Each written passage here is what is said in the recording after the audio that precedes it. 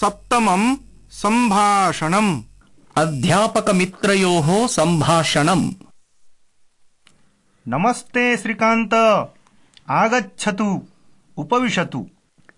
संस्कृतपाठः प्रचलति किम्? एताः किम् कुर्वन्ति? एताः चित्रं दृष्ट्वा प्रश्नान् लिखन्ति। ते अर्धकथां पूर्णां कुर्वन्ति।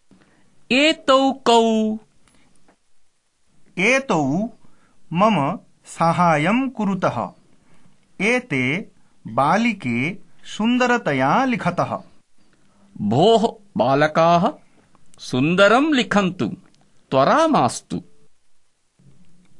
ते चित्रं दृष्ट्वा सम्भाषणं लिखतः। तौ एकां कथां लिखतः। ताः बालिकाः पदबन्धान् रचयन्ति। एते बालकाः प्रश्नानाम् उत्तराणि लिखन्ति। अन्ते उपविष्टवन्तौ तौ किम् कुरुतः?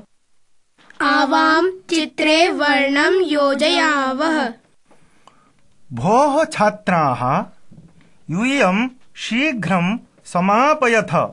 इदानीं क्रीडा अस्ति वयं शीघ्रं शीघ्रं लिखामः आचार्य।